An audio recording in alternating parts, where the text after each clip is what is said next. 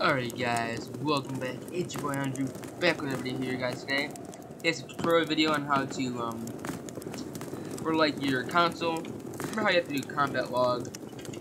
Oops, Boom. And like sometimes in fights or like you know right away, you don't want to type it, you're in a stressful situation or like clear a console. I do that. Today I'm show you guys how to um, bind the key so it automatically uh, uh, clears it or shows you the combat logs. First, you hit your F1 key if you're on a um, full-size keyboard. If not, you have to find your. Uh, I'm gonna show you that right away. So you have to come down here if you have a laptop or something like that and you don't have a keyboard.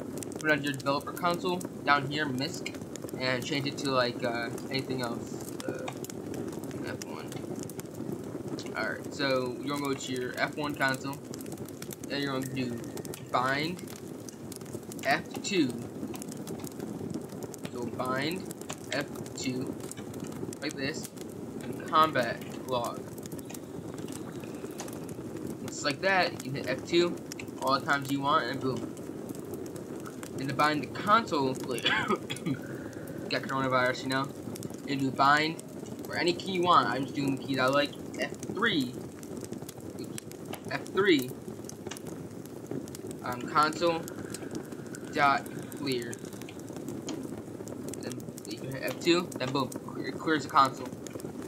Alright guys, um, that was it for today's video. Hope you guys enjoy and like this. Tell me you guys want more of this content of Rust. Um, I don't know if I should have any videos coming up soon or not, so yeah guys, just leave a comment below, and peace.